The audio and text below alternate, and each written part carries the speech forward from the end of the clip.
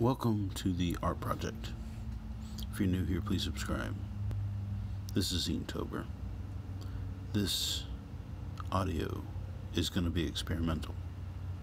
I hope you enjoy. Please continue watching. This is the prompt spirit for Inktober 2021. Please give me a thumbs up.